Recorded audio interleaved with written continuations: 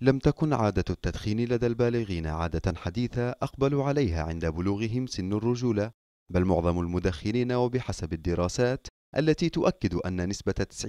من المدخنين البالغين بدأت عندما كانوا أطفالا أي أن التدخين عادة أدمن عليها المدخنون في سن مبكرة وهذا مكمن الخطر إذ يلجأ الطفل في هذه السن إلى التدخين كأن يتصور أن هذه العادة تعطيه نوعا من الاستقلالية عن والديه والإحساس بالبلوغ ويوحي له بقدرته على الاعتماد على نفسه وإحساسه أن هذا التصرف يمنحه نوعا من البرستيج والرقي الاجتماعي وأنه يبدو أكثر جاذبية عند حمله السيجارة. وذلك راجع لأخطاء يرتكبها الآباء المدخنون تسهم في تعلم أطفالهم التدخين في هذه المرحلة العمرية بسبب الضغوط النفسية والاجتماعية وكذلك مباهاة الآباء بالتدخين أمام أبنائهم أو إرسالهم لشراء علب السجائر مما يكسر هاجس الخوف من التدخين لديهم كما أن التعامل السلبي للآباء أثناء اكتشاف تدخين أحد الأبناء